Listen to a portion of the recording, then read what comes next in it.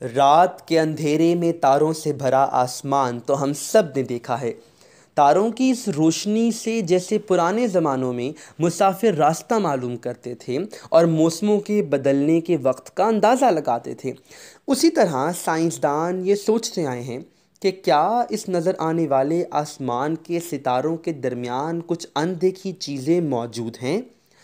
मैं हूँ अब्दुल मुनीब और आप देख रहे हैं मिस्टीरियस अनफोल्डेड की किस्त what are brown dwarfs brown dwarfs खला में मौजूद ऐसे ऑब्जेक्ट्स हैं जो कई सालों तक हमारी नज़रों से ओझल रहे। यूँ तो इनका साइज़ हमारे निज़ाम शमसी में मौजूद मुश्तरी, यानी जुपिटर के बराबर है, मगर इनका वज़न जुपिटर से 80 गुना ज़्यादा है। देखने में ब्राउन ड्वार्फ बिल्कुल एक सियारे जैसे ही होते हैं।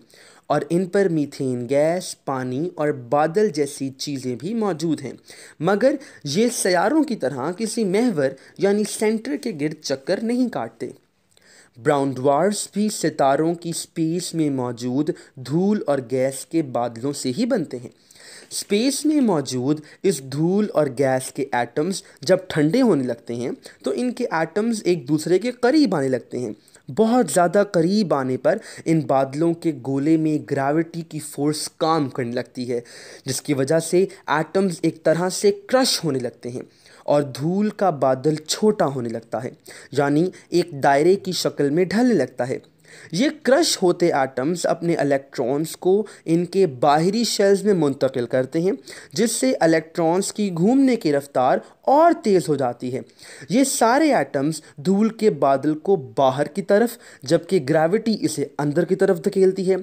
इस तरह अंदर और बाहर की क़ुवत लगने पर यह बादल एक ही जगह रुक जाता है, जिसे ब्राउन ड्वार्फ कहते हैं।